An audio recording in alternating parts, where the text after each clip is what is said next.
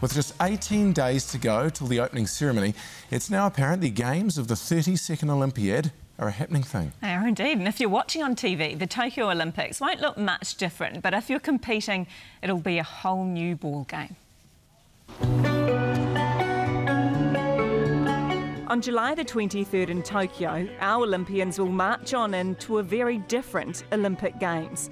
They won't be shoulder to shoulder, face masks will be mandatory unless competing or sleeping.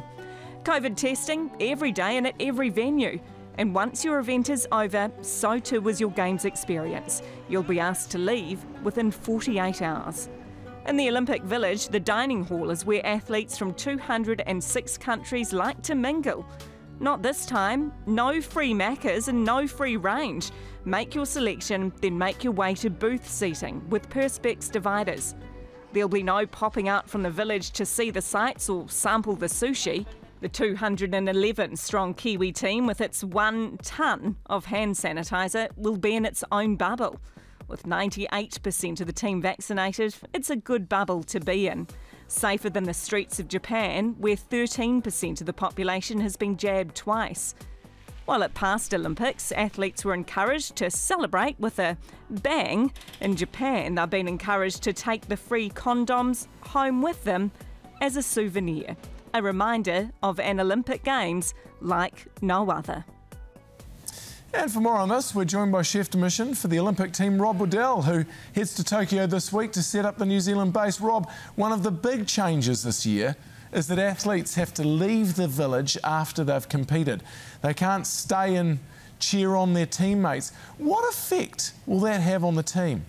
Yeah, it's going to be quite a different environment we're going into, but it's fantastic to be going there. I think we're all quite excited after the long break that we've had to finally be lining up. Uh, but I think the, the main thing for the athletes is the field of play is going to be the same. Uh, that's what they're going there for, is to compete and do their very best. So it's great to know that they'll be lining up against the same opposition. Um, but it'll be very different outside of that, as you just, just said. You know, they, they come in late, they leave early.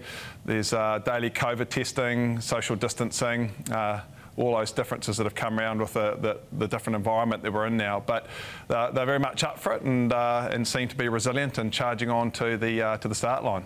And Rob, we know team culture is something that uh, Kiwis pride themselves on at the Olympics. But given the constraints this time, what will you be doing to create a winning atmosphere for our, our athletes in the village?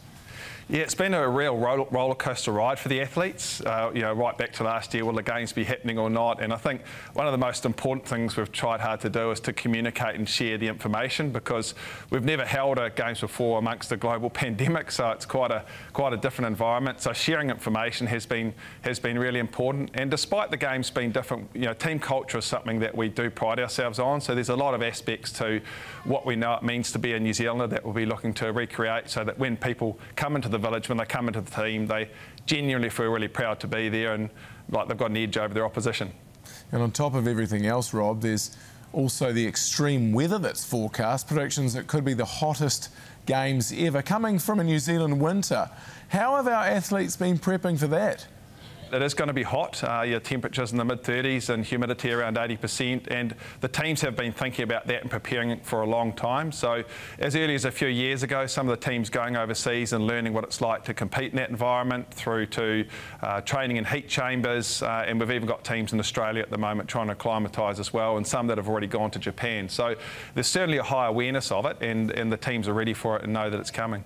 Well, we're hoping for lots of medals, and uh, the whole country's behind you. Thanks for your time, Rob. Lovely to see you. Thanks, Jeremy.